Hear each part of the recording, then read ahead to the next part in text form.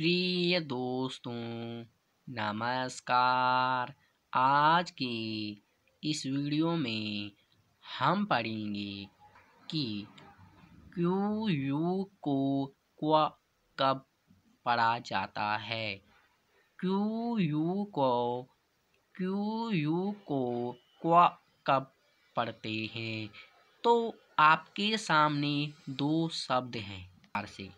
तो देखिए इंग्लिश का नियम कहता है, यदि किसी शब्द के प्रारंभ में, यदि किसी शब्द के प्रारंभ में क्यू यू आए तो वहाँ पर उसका उच्चारण क्व किया जाएगा।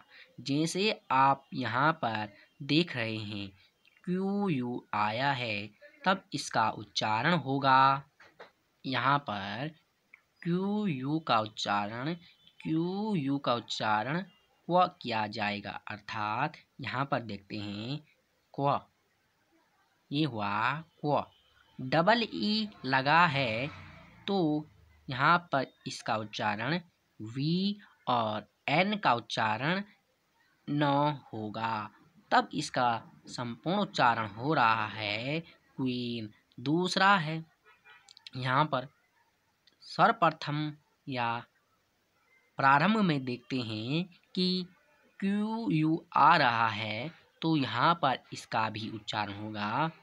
क्व लेकिन ए होने के कारण कारण क्यू यू प्रारंभ में है तो इसका उच्चारण क्व होगा। लेकिन उसके बाद ए लगा है, तब इसका उच्चारण हो जाएगा quarrel quarrel R R E L होने के कारण इसका संपूर्ण उच्चारण हो जाएगा क्वारल तो अब आपको नोट्स बताते हैं। देखिए, यदि किसी शब्द के शुरू में क्यू यू आए तो वहाँ पर क्यू यू को क्व पढ़ा जाता है।